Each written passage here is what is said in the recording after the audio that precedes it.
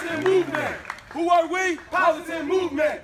And besides the fact that we promote put down the guns and pick up some drums for a better community, what do we do? We strive to keep positive minds, to decrease negative reactions, to bring unity to our community, and enjoy life abundantly, avoiding negativity. and why do we do this? To bring smiles to the hearts of our neighbors and to be role models to others. Ready? Arms down. Ready? Arms down.